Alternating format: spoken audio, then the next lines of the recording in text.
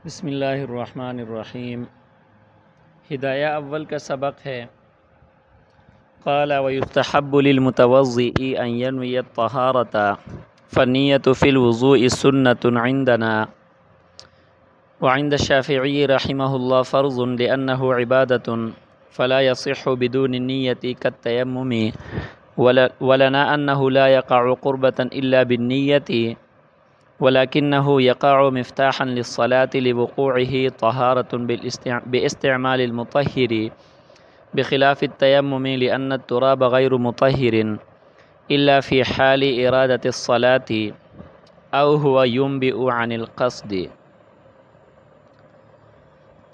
साहिब हिदाया ने सबसे पहले वज़ू के फ़राइज़ का बयान फरमाया था उसके बाद वज़ू की सुन्नतों का बयान फरमाया था उसके बाद वज़ू के मुस्तहबात का बयान शुरू कर दिया। वज़ू के वाजिबात का बयान नहीं किया और इसकी वजह यह है कि वज़ू के अंदर कोई वाजिब नहीं है। वज़ू के अंदर फ़राइज़ हैं, सुनन हैं, मुस्तहबात हैं।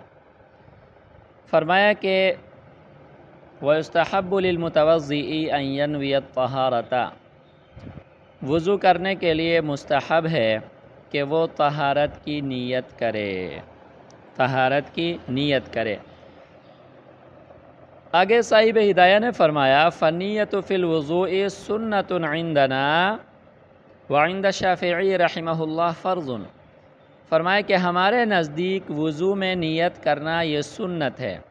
तो गोया कि यहाँ मुस्तहब जो है वो सुन्नत के माना में है।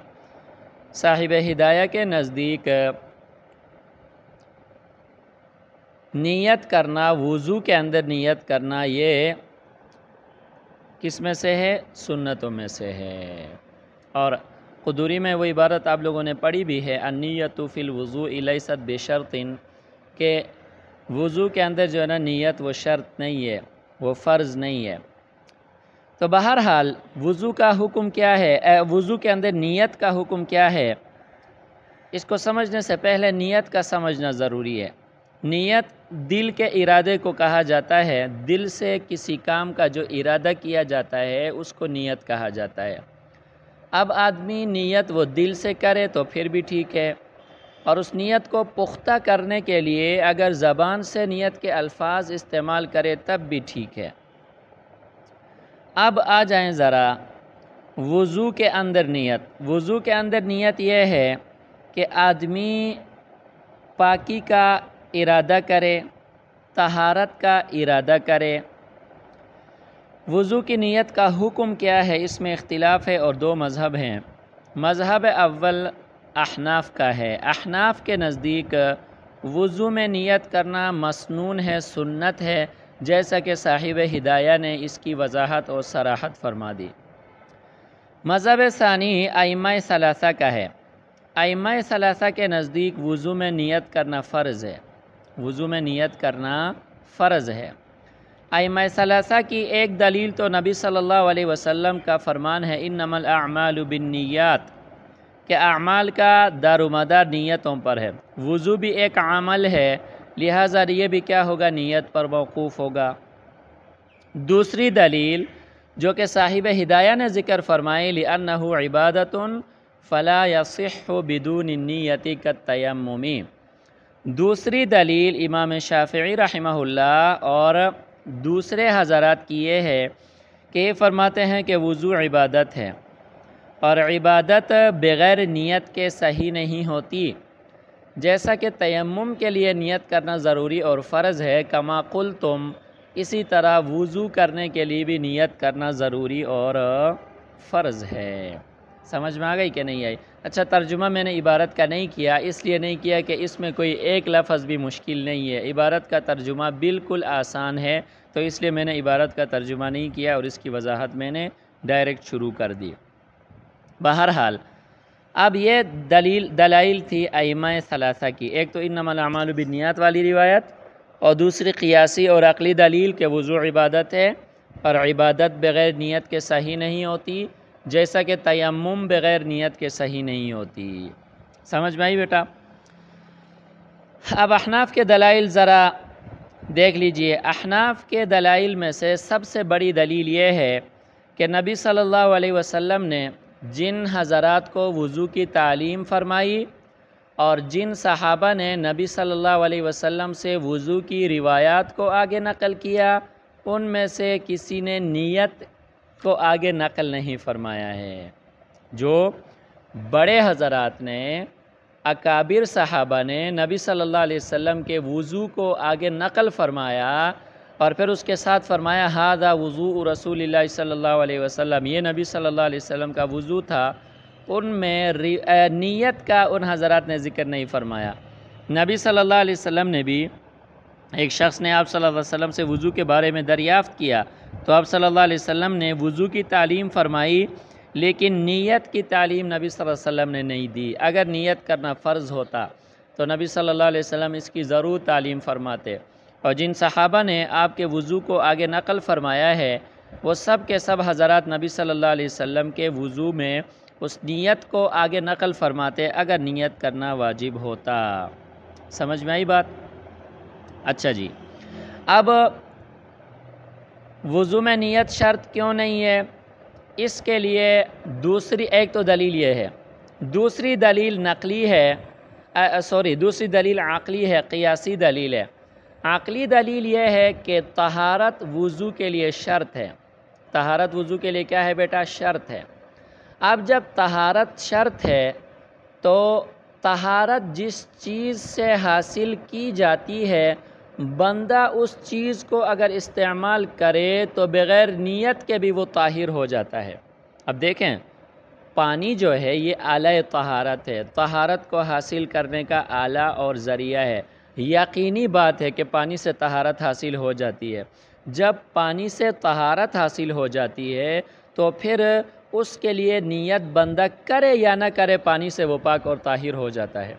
अब मिसाल के तौर पर देखें अगर किसी इंसान के कपड़ों पर कोई गंदगी लगी हुई हो अगर वो उसको पानी से धोए तो पाकी की नीयत करके धोए या पाकी की, की नीयत ना करके धोए दोनों सूरतों में कपड़ा तो पाक हो जाएगा। कोई भी ये नहीं कहेगा कि कपड़ा ना पाक है क्योंकि तूने नीयत नहीं की। नहीं क्योंकि आलय मुतहिर है और उसको तहारत के लिए बंदे ने इस्तेमाल किया तो उसके लिए नीयत की क्या ज़रूरत है? समझ में आई? दूसरी दलील जो क़ियासी दलील है वो ये है कि ये जो वज़ू है, ये मफ्ताह सलात है, नमाज़ के शराइत में से है। समझ में आई कि नहीं? और इस वज़ू का ख़ुलासा ये है कि ताहिर होना और पाक होना। और ये किस चीज़ से ताहिर और पाक हो रहा है? आल तहारत से ताहिर और पाक हो रहा है। लिहाजा आल तहारत को इस्तेमाल करते हुए बंदा नियत करे या ना करे, दोनों सूरतों में वो पाक हो जाता है कि नहीं होता? यकीनन पानी के इस्तेमाल से वो पाक हो जाता है। तो लिहाजा जब पानी के इस्तेमाल से वो पाक हुआ और नमाज़ के लिए भी पाक शर्त है तो वो जो तहारत है, जो नमाज़ के लिए शर्त है, वो तो बग़ैर नियत के भी क्या हो गई, हासिल हो गई। समझ में आई कि नहीं आई? जी बेटा, बेखिलाफ़ तयमी लिअन तुरा बग़ैर मतहरिन फ़िहाल इरादत फ़ी हाल इरादत सलाती अवम बिनकसदी यहाँ से इमाम शाफ़ी रहमल्ला की दलील का जवाब है।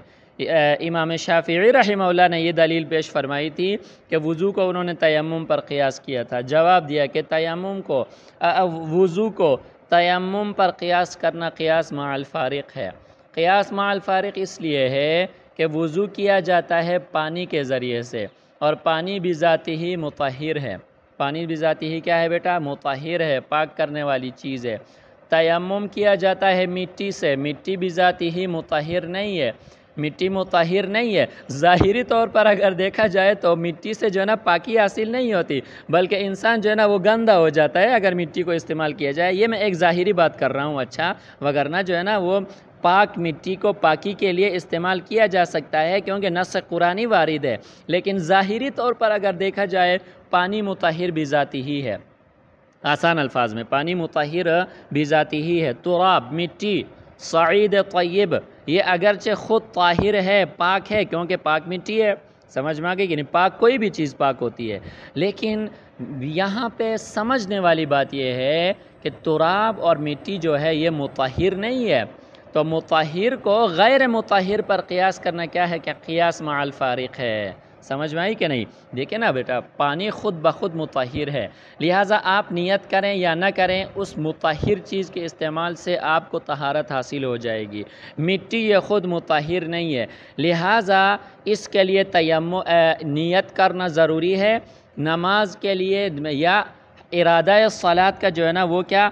हाल होना ज़रूरी है। समझ में आ गई कि नहीं आई? या उसके लिए नियत करना जो है ना वो क्या है, ज़रूरी है। तो लिहाजा चूँकि मिट्टी गैर मुतहर है, लिहाजा उससे पाकी हासिल करने के लिए, उसको मुतहर के दर्जे में लाने के लिए नियत करना ज़रूरी होगा। बग़ैर नियत के मिट्टी से तहारत हासिल करना ये दुरुस्त ना होगा और बग़ैर नियत के पानी से तहारत हासिल करना ये बिल्कुल दुरुस्त होगा। लिहाजा वज़ू को तयम पर क़ियास करना, ये क़ियास माल फ़ारिक है, क्योंकि वज़ू पानी से किया जाता है, जो कि बिजाती ही मुतहर है, और तयम मिट्टी से किया जाता है, जो कि बिजाती ही मुतहर नहीं है। तो ये ख़ुलासा है आज के इस सबक का, और दलाइल और उनके जवाबात हैं।